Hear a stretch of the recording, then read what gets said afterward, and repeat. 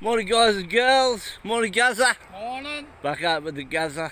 Um, we're on a little permission today. Um, the guy has got quite a bit of land and has asked us not to uh, disclose the location um, as he doesn't want any um, trespassers on there really and neither do we so we won't get uh, any panoramic views today I'm afraid but uh, looks like uh, we might be for a good day eh guys Yeah, could do, yeah. yeah it's got a bit of history about it um, apart from the weather weather looks a bit gloomy We've got a bit of drizzle in the air but hopefully it will clear up and we'll have a good go at it so we'll see you on the first good hole Oh, that's not bad for a first target. Just there. Got a flosser. You little beauty. Ha ha. Off to a good start. First find for the day. Rightio. Catch you on the next one. well I didn't dig this live um, it was only a low tonish mid well mid-range 40s 45 something like that little pendant not sure if it's silver it looks a bit stained so but I've had a two dollar coin and got a pendant so we're on the board already I think this place has got quite a few dollar coins that are hanging around. So let's see if this is one. I've found two or three of them already. But uh, could turn into a nugget fest. Hopefully. Or it could just be that. No way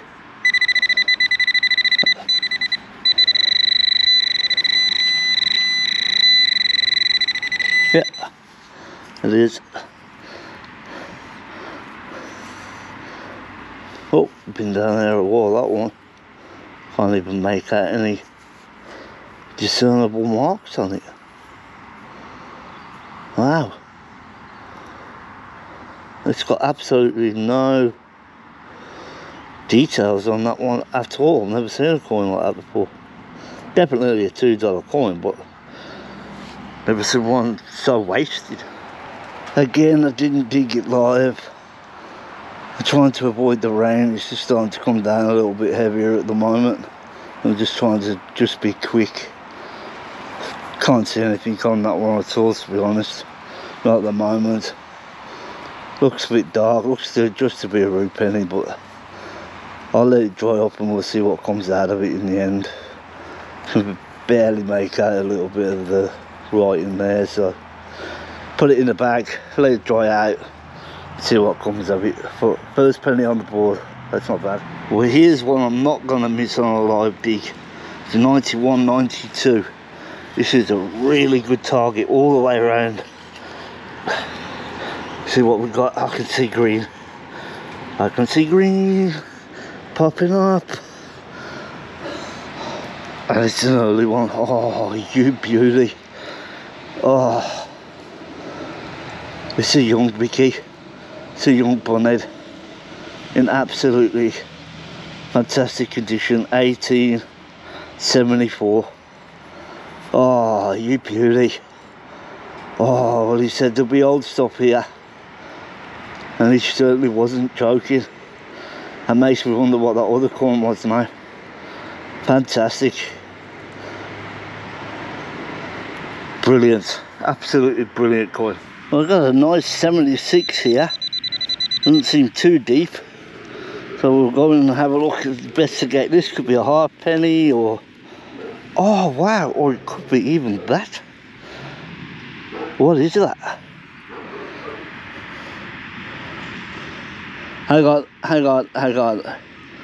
Okay, I'm gonna get the big camera out so we can have a proper look at this. That looks that looks cool. Well, hoping I can do this one-handed and clean this thing out. Oh, it's a little star pendant, look. It's cleaning up very nicely. Can we see any stamps on it? I'll knock it out of it more.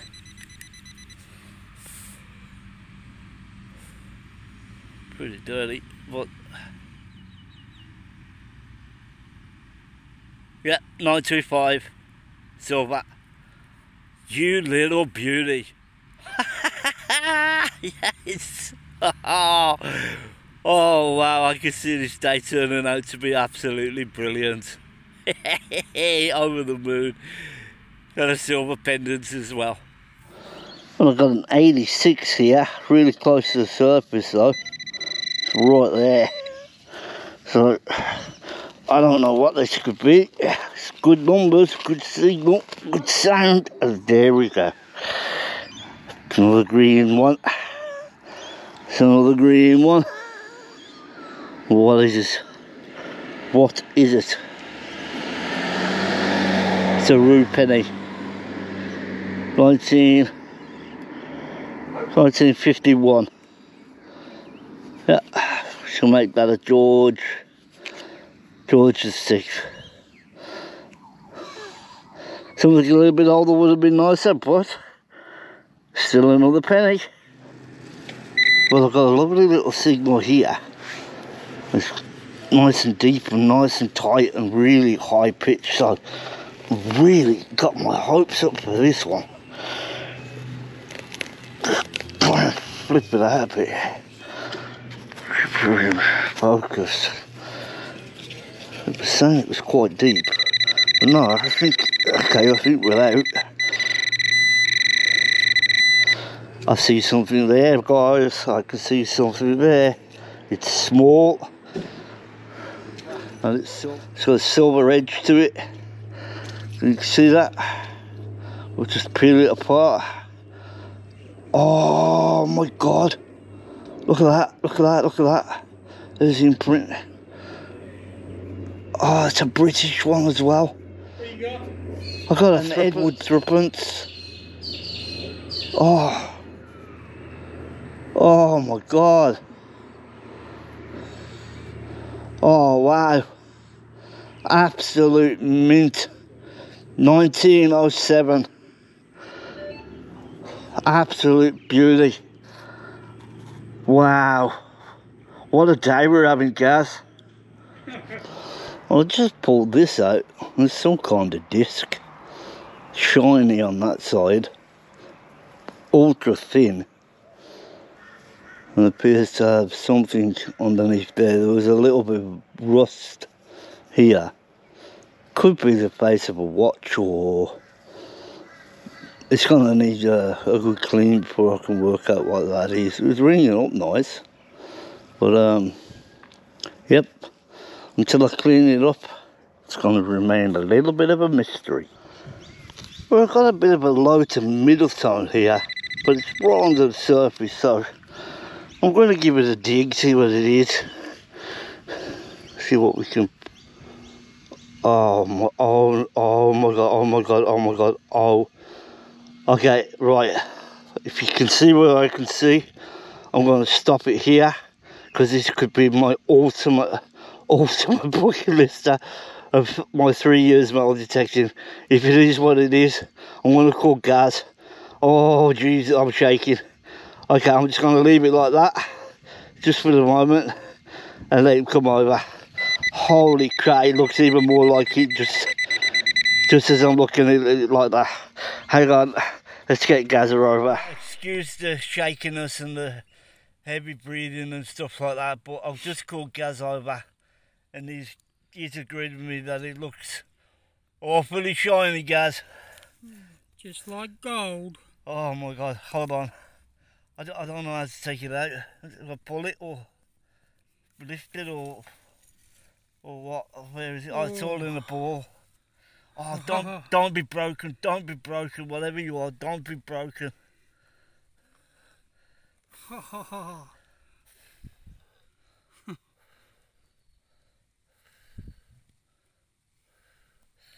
it's it's a bracelet, is it? Yep, a bracelet. Yeah. Look. That's looks yeah, the, like gold to me. The clasp is there, guys. Shit. Holy crap. is, it a, is it a necklace? Uh, the other clasp is on the other side. Okay. Oh, oh. This is what I've been searching for for the three years that I've been metal detecting. I've found gold rings, pendants, but I've never found a bracelet or a necklace. And that is a bracelet. I can see where the clasps have broken. And we're going to check it now if it's got a stamp, see what carat it is, if we can make it out. But far out, guys. It's definitely gold. Oh, Jesus, oh, Jesus Christ. Been in the ground like that and it comes up like that. Yeah. All right. Okay, we'll get back to you. Well, we've looked at the numbers and it says it's 14 karat gold. Absolutely, completely blown away by that. What a find. And it only needs the clasp fitting fixed. I'm sure I can get that done.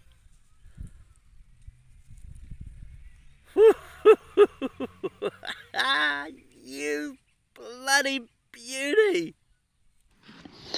Well, I've just spotted something under the ground and I just scratched at it with a pinpointer and to me it looks pretty blingy. It's ringing up 58 so I'm not really hopeful it's silver or anything but I think it could be something at least. And well there we go. It could well be. A little silver ring. How beautiful is that? Oh god it just keeps getting better. I don't know if I can see a stamp on that one but it's very thin um, very small so maybe it's a junker I'll get the daughter to have a look. She's got better eyes than me. Feels like it could be silver but uh, there's probably not a lot of weight to it but what they say ring's a ring. That's a very pretty one. Cool I got a screaming 85 here. It's too deep for the pinpointer. Absolutely screaming. Let's get in there and see what this is. I cut around it. Oh, what a day I'm having. I just love days that just seem to fall out of the sky with it when everything just comes together. Feels like something's still down there. Still quite far off this part is pretty sandy to be honest. But look of it maybe they've had fill on it or something. Definitely down deep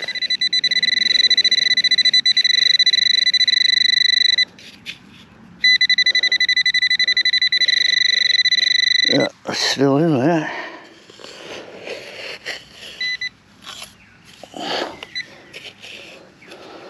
I got it again. I got it again, guys. I got it again. I don't need that anymore. I think I can see exactly what it is. And it's going to be another big silver. And there we are. Absolutely brilliant. Flozza! Fill that off. Take the dirt off. Ah, what are we? 1940, ah, 1947. the most common florins you can get. But hey, I'm not moaning at that. Oh my god.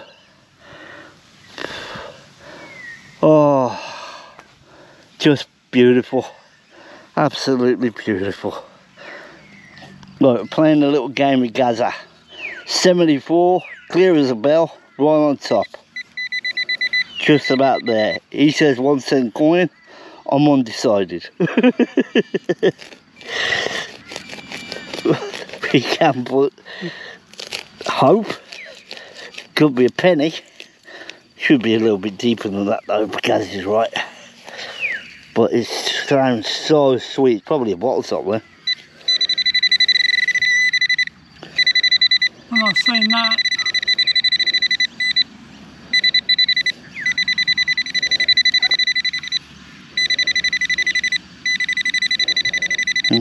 Your cover. What do you think I thought that was? A ring? Yeah, no. What are we talking about, guys?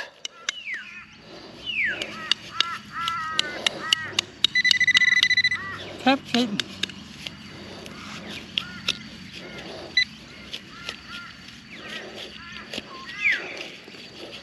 I can't this target. It was right on top. Well, I'll come back to you when we found it. well, we were both wrong. It was that.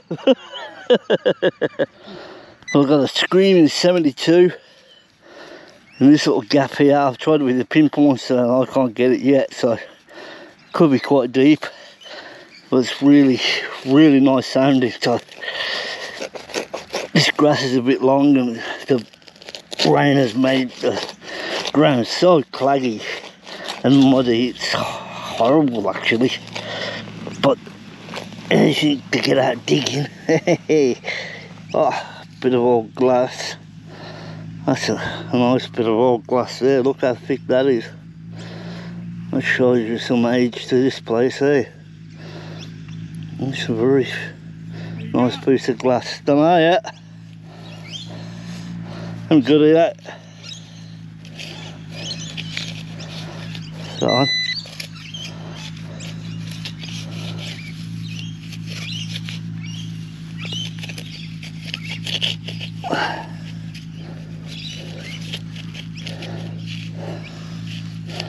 Mm. A bit deeper than that.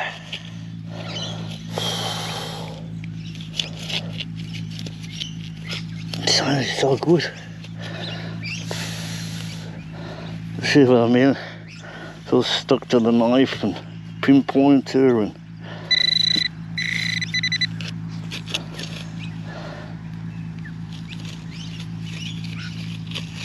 I can't get to it yet.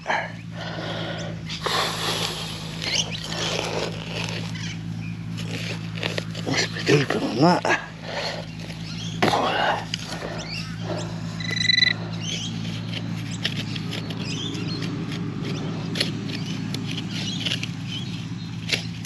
Mm, I have to fish around in this one, guys. Let's try one side with the machine.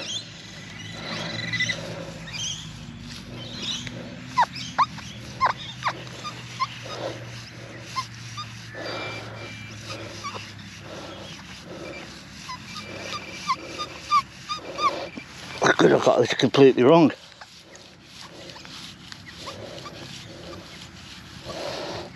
Not showing up at all now.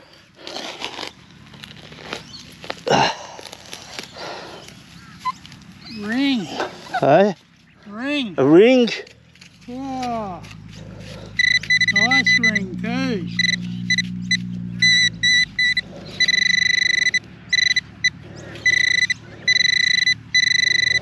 Well, there's something here now.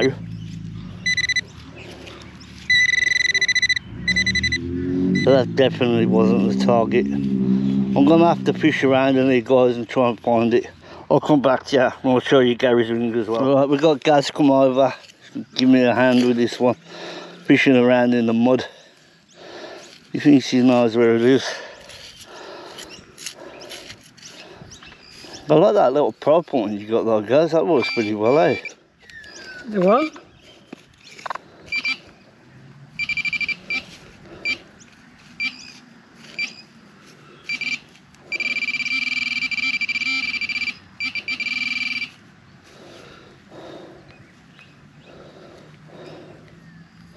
No, that's already there. Don't know where it is, mate. Well, here's the ring Gazza found. Beautiful little sterling silver ring, 925. Get a good look at that. That's pretty cool. I know there's a good target in there, Gazza, I'm sure of it. That's it. That. Nah, You put your pinpointer on it. tiny bit of lead or something. Something. Alright, here's your ring back. Come in. Eh? And I am not happy with the way that sounded to give me that. Hold on one second again, guys. Excuse the whole, guys, but I needed, I needed the gazza to come and help me, and we had to hack away because it was the most trickiest little thing to get. What he pulled out for me is a little rammed I knew there was a better one in there than that, so. 19 1948 gas that's probably 50% but yeah don't worry about that hole I'll put it all back They've just dug that looks like a military button of some sort like it's got a duck on it or something yeah come out of that hole there nice find Rightio, catch you soon. Done nice 73 down here. In pinpoint range just about. It could be a dollar coin actually. I found quite a few of them today. Be interesting to see at the end how many I've actually managed to accumulate. Done really well on the goldies. Still in the hole. Oh, that's telling me it's good. Ah, sprang up pretty well.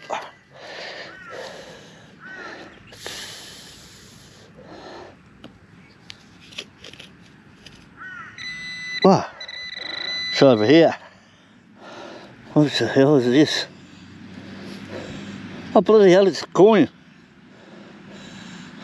Oh, and it's a good one. It's Britannia, look. Who's on this one? Look at this mud. Oh, it's terrible. Oh, that's so much rain. Oh, I can't see properly. Hold on. Let's give it a rub on the trousers. Take the dirt off the face of it. Oh, look at it's an Edward. Look at that. Oh, what a beautiful coin. Edward the seventh. And date for you. 1908. Beautiful coin. That and the Vicky penny as well.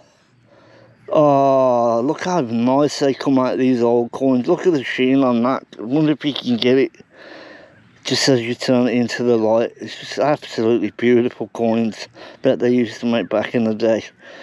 Modern ones, I don't know they seem to rot away really fast, don't they? But these older ones, they they keep well in the ground. Anyway, that's wow. Oh my god. I know I keep saying it, but what a day. Gaz the boys found your second silver for the day. What you got, Gaz? Little sixpence. Don't know what date it is 1943, yet. mate. Well, there you go. 50% silver.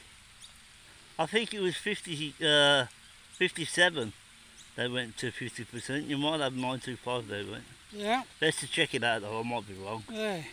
It is on the back of it. George 6. Yeah. Yeah.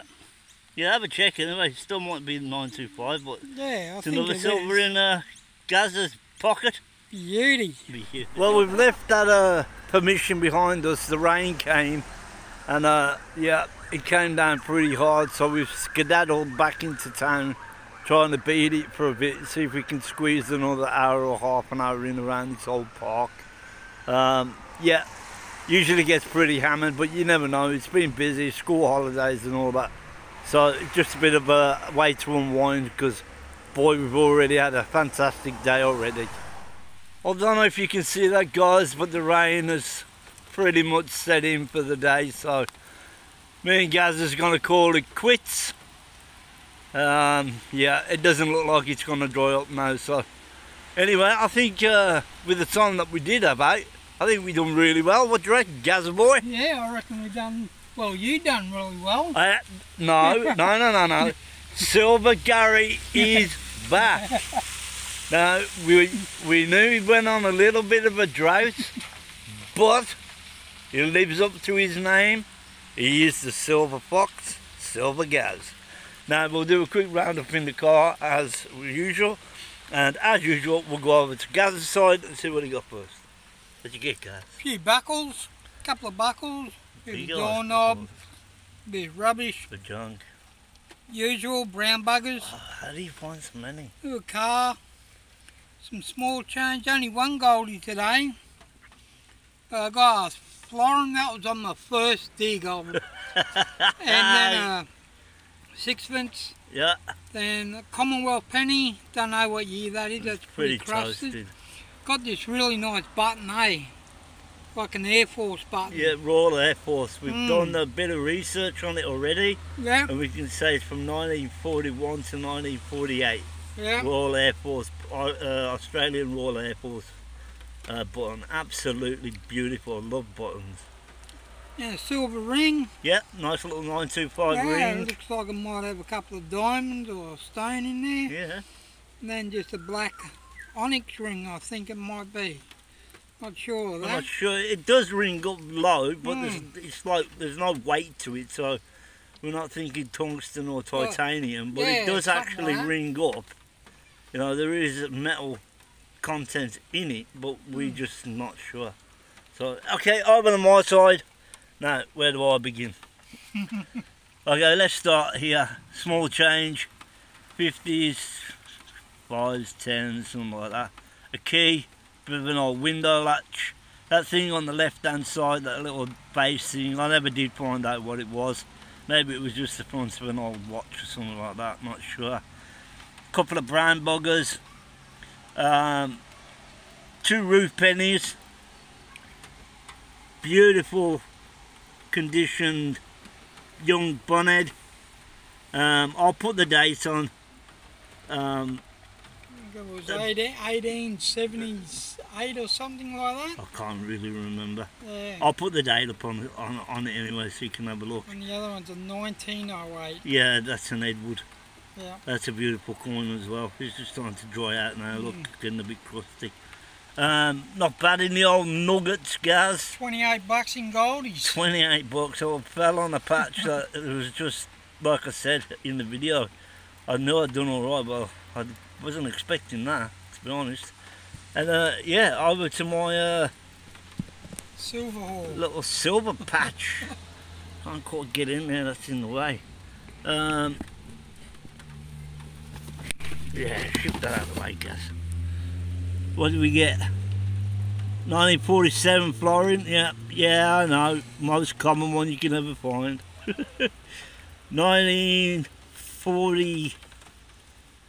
1948 Ramshead shilling. Oh, I had to find that for him. Yeah. Oh my God. I, he, he- oh, you saw. You saw. I was trying to pin that down. I. I needed Gaz's help on that. Um, little 925 star pendant. Um, that'll go straight on the chain. Clean it up and put it straight on the chain. Love that. A lovely little thrift.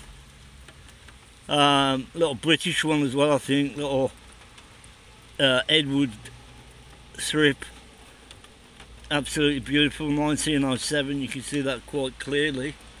Um, another bucket lister pair of silver um, cufflinks. Yeah. never found anything like that before. Little ring just a junk oh sure it's got no weight to it at all. It's a pretty little thing but like I said it's got it's got no weight to it so we don't think it's silver and the very first thing I think I found was the angel so yeah, the angels were definitely around me today, and the very first thing that I saw this morning was a rainbow. and what did I say you find at the end of the rainbow? Gold. oh, you beauty! I, honest, honestly, that is one of my all-time bucket list of, bucket list of finds. I've found rings, pendants, like I said, but to find a chain or a bracelet was always on my list, and yeah, I can tick it off. And I don't think it's um, going to be that hard for a jeweler to fix. No. Just um, whatever they can do just to seal the two ends. It's not broken. That's what I thought. I thought, oh, if I pull it out and it's only bits of it or something like that. But yeah, it all came out in one piece, and I'm bloody well happy about it. I'm gonna wait. Yeah. I'm gonna see how much it's worth, and guarantee by next week that's gonna be on my wrist. so yeah, guys. Yeah. Yeah, I think a damp end to the day, but Yeah. another right. enjoyable session. That was good. Yeah, we had fun. We always do. So yeah, once again, thanks for watching this far. Uh, no doubt we'll be out again uh, next week somewhere out and about. So Yeah. Until next time. Until next time, see you when we're out and about, guys.